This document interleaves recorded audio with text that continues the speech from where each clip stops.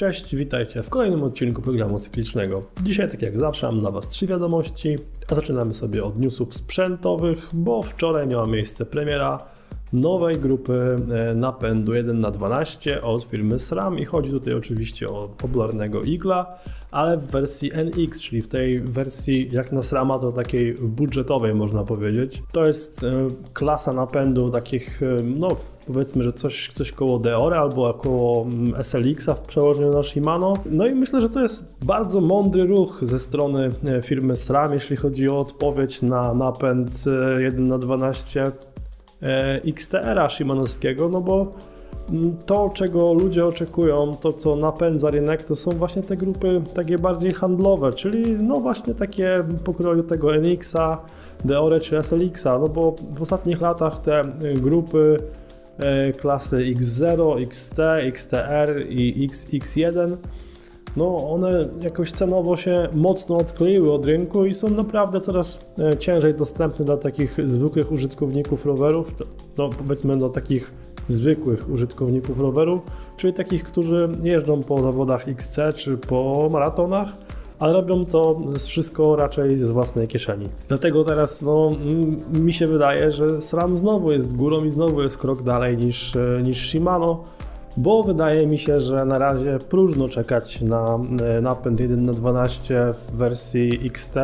czy w wersji SLX, no nie mówiąc już o, o wersji Deore. Druga wiadomość dzisiaj, która spłynęła do nas e, z zawodowego peletonu XC, no niestety jest taka, że Helen Grobert e, ostatnio stwierdziła, że zawiesza karierę, przerywa tą karierę swoją, jeśli chodzi o zawodowe ściganie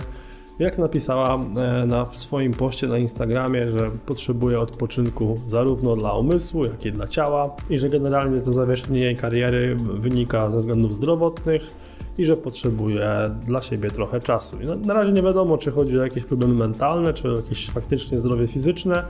no ale wiemy na pewno, że w najbliższych wyścigach Helen nie zobaczymy na starcie. Trzecia i ostatnia wiadomość dzisiaj to jest wiadomość kalendarzowa, bo warto sobie przypomnieć o tym, że w niedzielę w Karpaczu odbywa się Uphill Race Śnieżka i to jest taki dosyć ciekawy wyścig, bo wiele osób uważa, że to nie jest najcięższy podjazd w Polsce, no ale jest taki najbardziej chyba znany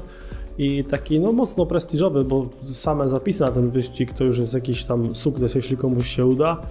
E, no a wykręcić dobry czas na śnieżkę to zawsze jest e, jakiś tam fajny wynik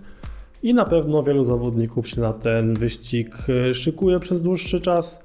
co na przykład widać po tym, jaki sprzęt przygotowali sobie zawodnicy Treka Gdynia, bo złożyli sobie hardtaila ze sztywnym widelcem, który będzie ważył 6,6 kg. No to typowo taka uphillowa konfiguracja. Zobaczymy w niedzielę, czy taki sprzęt przyniesie im oczekiwany rezultat. W dzisiejszym programie cyklicznym to już wszystko. Ja Wam życzę udanego weekendu i widzimy się oczywiście w poniedziałek. Do zobaczenia.